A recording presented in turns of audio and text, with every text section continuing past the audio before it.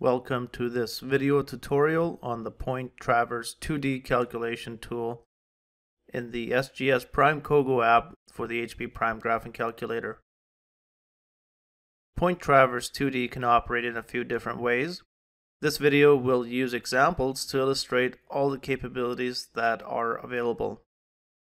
Note that this tool is called Polar if your localization has been set to Australia, New Zealand, South Africa. Before I begin, I will point out that for this tutorial I have set the angle unit to degrees, minutes, and seconds. Direction reference is set to north azimuths. The primary distance unit is set to meters, and the secondary unit is set to feet international. Let's jump right in and open the Point Traverse 2D routine, which is the first option in the COGO menu. On the interface you'll notice a column of buttons on the right hand edge of the screen. These buttons allow you to quickly switch between the different methods of calculating coordinates. Starting from the top we have standard, which is used to enter a starting point, a direction and distance to a second point to calculate, and an optional offset. The offset is always perpendicular to the direction entered. The direction and distance are used to calculate a position, and if an offset is provided, the offset is applied by turning at 90 degrees to the direction entered. The mode can be set to traverse or side shot. All this does is control the behavior of the automatically suggested from point after a point has been calculated and stored. In traverse mode, the from point will always update to the point ID that was used to store the latest point. This way it is faster to traverse from station to station, always continuing on from the previous point. In sideshot mode, the from point does not update after storing a point. This mode is useful if you are calculating multiple points from the same starting position.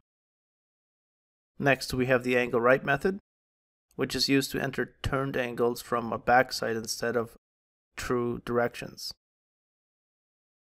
Again, here we have traverse and sideshot modes. In this case, traverse mode automatically updates both the front point and the backsight point fields. This will be illustrated in an example later in the video. Next, we have the plus method, which is similar to the standard method in that true directions are used. However, this method has a sequence of input screens which allow for calculating intersections to a known point simply by omitting certain inputs. Various examples will be used to illustrate these capabilities. Again, the traverse and sideshot modes are selectable and function in the same way as in the standard method. Finally, there is the curve method, which is used to calculate the end of a curve point when the arc length is known, but the direction and distance are not. The beginning of curve point and the radial point will need to be calculated prior to using this tool.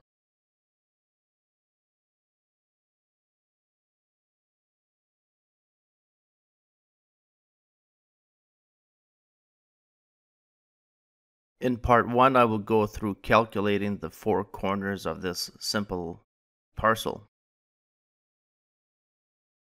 I will begin at the southwest corner, or point 1, and go clockwise around the parcel. Even though I have not stored point 1 in the project database yet, I will enter 1 as the from point. A prompt asks if I want to create this point, and I will choose yes to create a new point 1. In this case, the coordinates are arbitrary, and as such I will simply use the default zeros for the coordinate values. Next, I will enter the azimuth of 0 degrees 17 minutes and 47 seconds as shown, followed by 35.052 meters for the distance. No offset is required, and the traverse mode is the correct mode. The enter key or calc on the menu will verify the input and if all is good the store point dialog appears where we can specify the desired point ID description and even change the coordinates if necessary. everything looks good here, the enter key or store on the menu will store this point in the database. Note how the from point field has automatically advanced and the active field is now the direction field. The previous values for direction and distance remain. This can be useful when multiple legs of the same direction and distance need to be calculated. The next direction is 90 degrees 5 minutes and 19 seconds, and the distance is 36.738 meters. Enter to calculate point 3 and enter again to store. On this next leg, the plot of the azimuth shows 0 degrees 25 minutes and 18 seconds, but of course we want to reverse this direction. In this case, it is easy to mentally make this adjustment and simply enter 180 degrees 25 minutes and 18 seconds. However, there is another option. Let's enter the direction as plotted. Then note the second menu label shows plus or minus 180 degrees. With the input already entered, when we tap this button, it will reverse the direction of the entered direction for us. Next, enter the distance of 35.063 meters and store 0.4. At this stage, we have all four corners calculated. However, you may want to confirm that the direction and distance from point 4 to point 1 is correct. To perform the inverse calculation without leaving this input form, you can enter the two points separated by two decimal characters. Enter 4 dot dot 1 in the from point field and on enter the results are displayed. We can confirm that our direction and distance is correct. A graphical confirmation can also be done by using the plot key in the keyboard. Here we can enter a range of points using the same two decimal character method. To plot points 1 through 4, enter 1 dot dot 4 and the point numbers are graphically displayed on the screen. Cancel returns to the point traverse input screen.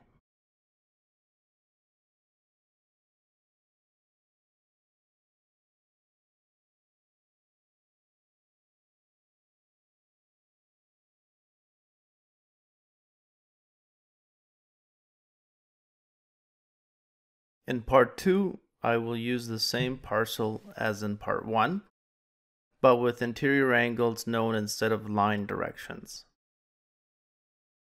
Points 1 through 4 already exist. I will make use of those existing points to demonstrate the angle right method. Let's recalculate the position of point 4 by turning the angle at point 1 backsighting point 2. The front point is 1. The backsight point is 2. The angle right is 89 degrees, 48 minutes, and 32 seconds. And the distance is 36.661 meters. To compare against existing coordinates for point 4, enter point ID 4. A dialog displays the deltas we can see that the solution is the same to three decimal places. Let's go ahead and overwrite in order to demonstrate the traverse mode behavior. Note that the front point is updated to the latest stored point, while the backsight is updated to the previous front point. I will end part 2 there. The main concept is mostly self-explanatory. Angle right calculations can also be performed with the standard and plus methods. An example will be included in part 3.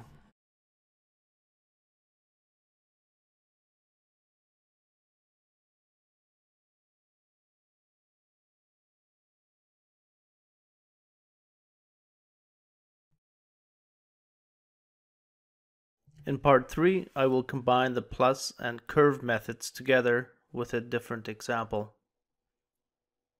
I will start with the plus method to create point 5 and calculate the radius point 6.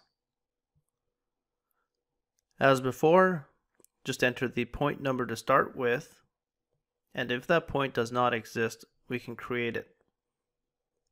Note the offsets checkbox. This will control whether offset fields are enabled or not. OK to continue to the next input screen. Enter the direction to the radius 21 degrees 45 minutes 35 seconds plus 180. The offset is disabled as per the toggle on the first screen. OK to continue to the next screen. Enter the distance to the radius point, 150 meters store point 6. Now we are back on the main screen. Set the curve method active to calculate points 7 and 8. Enter the beginning of curve point, point 5, the radial point, point 6, the arc length, 41.888 meters, and select the curve direction, counterclockwise calc to calculate the end of curve point. Store point 7. Note that the beginning of curve point is now point 7 to continue along the same curve. Enter the arc length, 31.154 meters, then calc again. Store point 8. Let's confirm that we are on the right track. Use the plot key to plot points 5 through 8. Looks good. Switching back to the plus method, now to calculate the remaining points. Starting from point 8, OK to continue. The direction is radial, so instead of entering the direction shown, 173 degrees, 51 minutes and 35 seconds, we can recall the direction between the two existing points. To do so, just enter the points in the same format as seen previously. 8 dot dot 6. Sure enough, the same direction is calculated. OK to continue. Enter the distance, 75 meters. OK to continue. Store point 9, Continue from point 9. Enter the direction, 81 degrees, 45 minutes and 35 seconds. OK to continue. Now, instead of entering the distance shown, we can create the intersection point where the previously entered direction crosses the line between the radius point 0.6 and point 0.7, A bearing-bearing intersection. Note the help text for the distance includes the blank if unknown text. Leave the distance blank and tap OK to continue. Next, we enter the point to intersect to. In this case, it could be either 0.6 or 0.7. Just choose one end of the line. I will enter 6 and then OK to continue. Now we are prompted for the second direction the direction of the intersecting line. Enter 7 dot dot 6 to recall the direction of the line. The value is as expected. OK to continue. Store point 10. Continue from point 10. For the next example, I will create a distance-distance intersection to calculate point 11. Leave the first direction blank and OK to continue. Our intersection is to point 5. The first distance is 24.585 meters. OK to continue. Leave the second direction blank as well and OK to continue. The second distance is 63.456 meters. OK to continue. We have two possible solutions. The second solution is the one that we want. The direction and distance from point 10 to the new point are very close to the expected values here. Store point 11 to complete the example. Distance bearing and bearing distance intersections are also possible in the same manner as the intersections illustrated.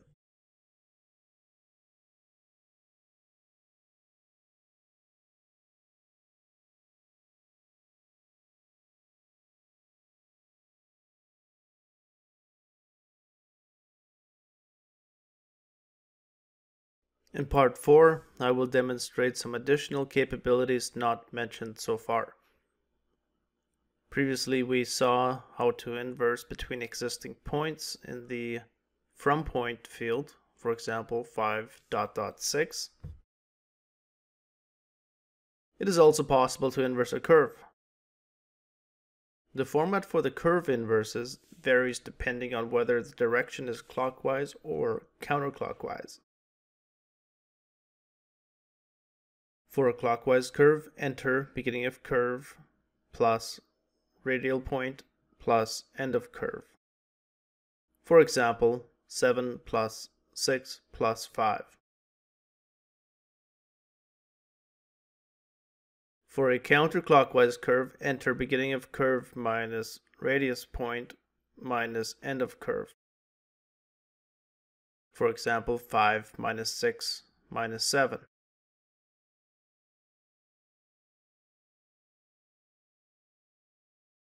Previously, we saw how to recall a direction of a line, for example 5 dot dot 6. It is also possible to apply a deflection angle to this line directly. For example, 5 dot dot 6 plus 15 will add 15 degrees to the line calculated azimuth. Multiple angles can be added or subtracted from a line direction or an entered direction. For example, 30 plus 15 minus 5.3 will take the azimuth of 30 degrees at an angle of 15 degrees and then subtract an angle of 5 degrees and 30 minutes. Similar operations are possible for distances. A simple inverse, like 5 dot dot 6 calculates the distance between the two points. Something like 5 dot dot 6 divided by 2 will calculate the distance and divide in half.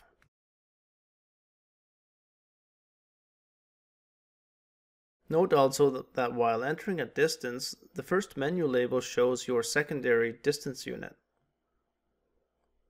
This menu button can be used to convert the entered value from the secondary to the primary distance unit. For example, my primary unit is meters, while my secondary unit is feet. Enter 50, then tap the feet button to convert the value to meters, 15.24. Feet and inches can also be directly entered, regardless of what your primary distance unit is set to. The final input will be converted to your primary distance unit. The input format is feet, comma, inches, comma, fractions. The inches and fractions are optional. For example, enter 5, comma, 5, comma, 1 over 8. What does this mean? It's 5 feet, 5 inches, and 1 eighth, or 5 foot, five and one eighth inches. Five comma five is five foot five inches, and five comma is five foot zero. Enter the parse the input and note how it gets converted to meters. That concludes this tutorial. Thank you for watching.